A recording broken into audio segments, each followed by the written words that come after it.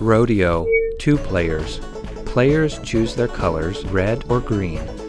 The object of the game is to round up your four lights. The lights appear in patterns such as tops and bottoms, opposite sides, and four in a row. This is a great game to play with teams of two, because so many lights appear at once.